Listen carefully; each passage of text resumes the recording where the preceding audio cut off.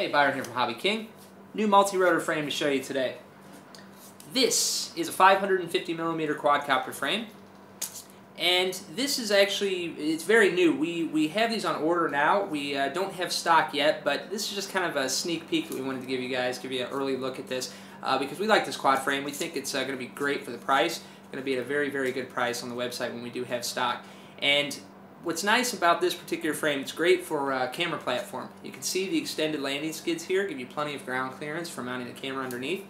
Uh, you've got a spot for your uh, GPS module, and the frame here is stacked. You've got you see four different levels, so you've got plenty of room for mounting your electronics.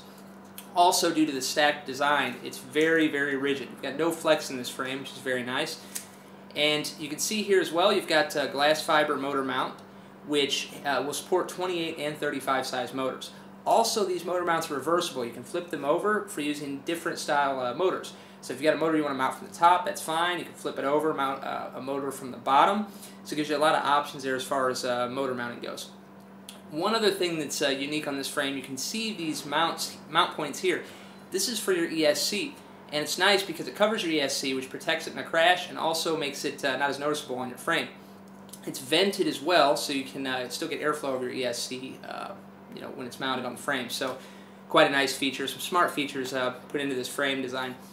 Also folding arms, so of course it's nice, compact for uh, transport. So anyway guys, like I said, just wanted to give you a sneak peek of this one. Uh, it will be coming uh, soon. It's going to be a little ways out, at least a few weeks, but uh, keep your eye out on the new items page and you will see it uh, when this comes in stock. So thanks for watching. Be sure to click subscribe as well.